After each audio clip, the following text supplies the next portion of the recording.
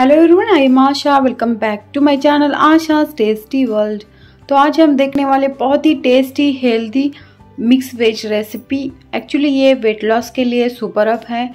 Wait loss की ही recipe है. तो इसे बनाना बहुत ही आसान है और इसे आप खाएँगे तो आपका पेट भी भरा भरा से फील होगा और इसकी टेस्ट थोड़ी सी हटके है, बहुत ही बढ़िया लगता है खाने में। आप इसे डिनर के टाइम में या लंच के टाइम में कभी भी बना सकते हैं। तो चलिए फटाफट से देखते हैं इसकी रेसिपी तो इसमें मैंने पानी गर्म करने के लिए रख दिया है, इसी में मैं नमक डाल रही हूँ और नमक डालने के बाद मैं इसमें डाल रही हूँ कॉलीफ्लावर तो आप देख सकते हैं इस तरीके से मैंने इसे क्लीन करके लिया है। और गर्म पानी में हम इसे डालेंगे और एक उबाल आने तक वेट करेंगे। नहीं तो आप इसे गर्म पानी में छोड़ सकते हैं पाँच मिनट के लिए गैस ऑफ़ करके, बट मैं एक उबाल आने के लिए इसे छोड़ रही हूँ। एक उबाल आने के बाद तुरंत मैं गैस को बंद करने वाली हूँ। तो फ्रेंड जब भी हम वेट लॉस की कोई रेसिपी बनाते हैं, उनमें जो सब्ज़ियाँ डालते हैं वो ज़्यादा पकी हुई नहीं रहती। तो कॉलीफ्लावर को मैं इसी तरह से छोड़ रही हूँ और यहाँ मैंने एक नॉन स्टिक की कढ़ाई ली है। उसी में मैंने हाफ़ स्पून ऑयल डाला है और इसमें मैं वन स्पून चॉप्ड जिंजर डाल रही हूँ। जिंजर डालने के बाद हम इसमें डालेंगे चॉप लहसुन। तो वन स्पून मैं लहसुन को भी डाल रही हूँ, देखिए इस तरीके से। तो जब हम वेट लॉस की कोई रेसिपी बनाते हैं तो उसमें लहसुन और जिंजर डालना ही चाहिए। और फिर मैंने यहाँ हाफ़ स्पून जीरा डाला है, इसे अच्छी तरह से भून के लेंगे। थोड़ा सा इसका कलर चेंज होना चाहिए। बहुत ज़्यादा ब्राउन हमें इसे नहीं बनाना, जस्ट थोड़ा सा इसे भून के लेंगे। तो इसी में ही दो बेलीफ में डाल रही हूँ फ्लेवर के लिए। इससे बहुत ही बढ़िया फ्लेवर आता है। अगर आप इसे वेट लॉस के लिए नहीं बना रहे हैं तो आप इसमें थोड़ा सा ऑयल ज़्यादा भी डाल सकते हैं। अगर आप वेट लॉस नहीं भी कर रहे तो इस तरीके से सब्ज़ी बनाकर देखिए, बहुत ही बढ़िया टेस्ट आती है इसकी। तो अभी ये देखिए, इस तरीके से ये भून चुका है। इसी में मैं ग्रीन चिली डाल रही हूँ। तो तीखा आपको कितना पसंद है, उसी पे डिपेंड आप इसमें ग्रीन चिली डालिए। तो मैंने यहाँ तीन चार ग्रीन चिली को लिया है, लेकिन ये बहुत ही तीखी वाली ग्रीन चिली है। और इसे भी भूनेंगे, इसे भूनने के बाद हम इसमें डालेंगे वन बाउल भर के चॉपड ऑनियन। तो इसे भी भूनना है, लेकिन इसे ब्राउन होने तक नहीं भूनना, जस्ट थोड़ा सा हम इसे भूनेंगे, थोड़ा सा सोटे करेंगे।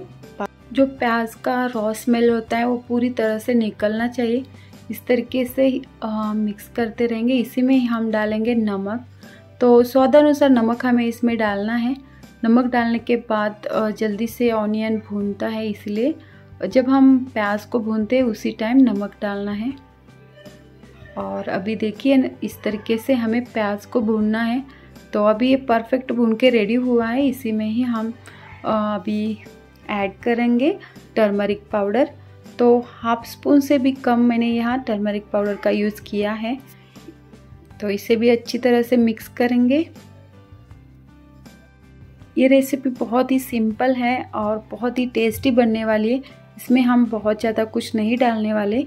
तो बाद में हम इसमें डालेंगे वन स्पून धनिया पाउडर यानी कोरिएंडर पाउडर मैं इसमें वन स्पून डाल रही हूँ। इसे भी अच्छे से भूनेंगे। तो धनिया की पाउडर डालने के बाद देखिए, बहुत ही बढ़िया स्मेल आता है। तो यहाँ घर में चारों तरफ़ खुशबू फैल रही है, बहुत ही मज़ा आ रहा है इसे बनाते टाइम और इसी में ही मैं वन बाउल भर के चॉपड टोमेटो डाल रही हूँ। तो टोमेटो डालने के बाद इसे अच्छे से मिक्स करके हम थोड़ा सा पकाएँगे। तो टोमेटो इसमें डालने के बाद इसमें थोड़ा सा पानी छूटना शुरू हो जाता है। तो देखिए, ये भी अच्छी तरह से भून चुका है। अब हम इसी में डालेंगे ग्रीन पीस को। तो यहाँ मैंने फ्रेश फ्रेश हरे मटर लिए हैं। तो वन पाउल भर के मैंने यहाँ मटर लिए हैं और इसे अच्छी तरह से मिक्स करेंगे। तो आप देख सकते हैं कितना ये कलरफुल दिख रहा है, बहुत ही बढ़िया लगता है देखते टाइम तो आज हम जो सब्ज़ी इसमें डालने वाले, उसे हम पूरी तरह से नहीं पकाने वाले, करीब 80 परसेंटेज तक ही हम इसे पकाएँगे। अगर आप बहुत ज़्यादा पकाएँगे तो इसके पूरे न्यूट्रिएंट्स आपको नहीं मिलेंगे सो इसीलिए जब आप वेट लॉस रेसिपी बनाते हैं तो किसी भी टाइप की सब्ज़ी आप बनाएँगे तो 80 परसेंटेज तक ही कुक करिए। तो इसे मैंने ढक के रखा है, ढक के ही हम इसे पकाएँगे।